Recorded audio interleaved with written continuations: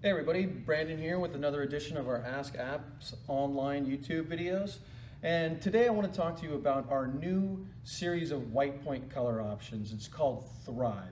And this is a really neat and important uh, improvement to our high quality white point options. So uh, Thrive, uh, just to be very succinct, is trying to be as natural as possible. So uh, in light, we have two types of light. We have artificial light and natural light.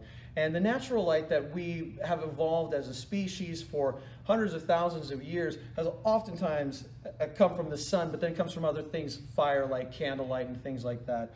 And uh, as we grew up as a species and came sort of indoors and created electric light, it gave us these great new options where we can extend our work hours or we can uh, change our work hours and, and we have more control over our lives. But uh, to do that, we had to sacrifice something. And so what that sacrifice was, was the quality of light.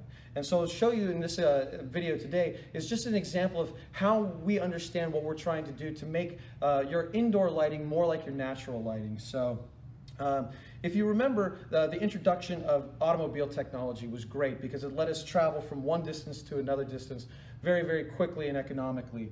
But uh, there was trade-offs. And so some of those trade-offs were things like air pollution. And so when you introduce a new technology like a car, you say, okay, well, we'll come away from our equilibrium or our homeostasis-like place and we'll sacrifice that. And then with technology advancements, we'll create things like catalytic converters that reduce the amount of air pollution and get us back more towards equilibrium. You can think of some other examples that might take away something and then bring it back in, like industrial farming may have lower nutrients, and then uh, improved practices will increase the nutrition and get us back to where we're trying to, where we're really optimized to be. And so that's the kind of idea that we're trying to do with our Thrive products. So if you look at our chart here, you can see sort of the evolution of the technology, the evolution of getting back to the, to the, the equilibrium. So here we have a reference black body curve, and this could be something like sunlight, but this is our 4000K uh, relative spectrum.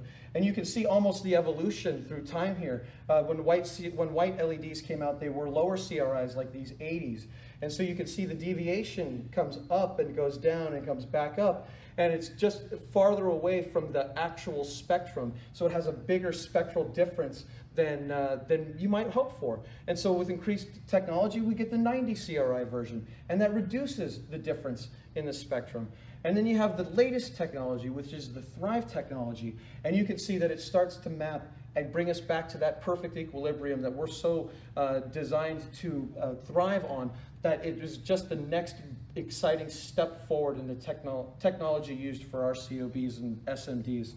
And so hopefully this short explanation uh, can be uh, you know, interesting and exciting and you give us a call and, and find out more about the, uh, the Thrive products that we have available. Um, right now we have about seven different color points and uh, with more exciting products coming in the future. So look forward to more videos and uh, reach out for us for samples. And uh, we'll see you next time on the Ask App series of videos. Thanks.